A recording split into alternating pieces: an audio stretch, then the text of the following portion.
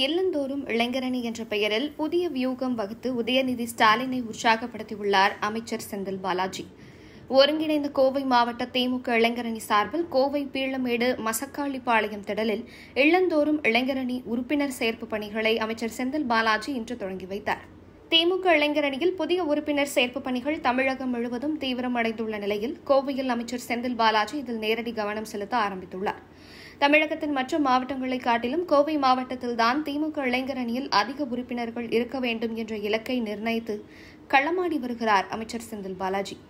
திமுகவில் உள்ள இளைஞரணியின் கட்டமைப்பும் அதன் உறுப்பினர்கள் எண்ணிக்கையும் மற்ற அரசியல் கட்சிகளில் இல்லாத ஒரு சிறப்பாக பார்க்கப்படுகிறது. இளைஞரணி தொடங்கப்பட்டு நாற்பத்தி இரண்டு ஆண்டுகள் கடந்து தற்போது நாற்பத்தி மூன்றாம் ஆண்டு நடைபெற்று வருகிறது. இந்நிலையில் கிளை ஒன்றிய பேரூர் நகரம் மாநகரம் மாவட்டம் என அனைத்து நிலைகளிலும் திமுக இளைஞரணியின் அமைப்பு வலிமையாக இருக்க வேண்டும் என்பதற்காக புதிய உறுப்பினர் சேர்க்கையை தீவிரப்படுத்துமாறு உதயநிதி ஸ்டாலின் அறிவுறுத்தியிருக்கிறார். குறிப்பாக கல்லூரி மாணவர்களை பெருமளவில் திமுக இளைஞரணி உறுப்பினர்களாக கொண்டு வரும் திட்டத்தில் இதனை செயல்படுத்தியுள்ளார் அமைச்சர் செந்தில் பாலாஜி.